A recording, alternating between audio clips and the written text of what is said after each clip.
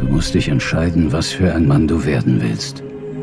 Wie dieser Mann auch sein wird, gut oder böse. Er wird die Welt verändern. I'll fucking kill you.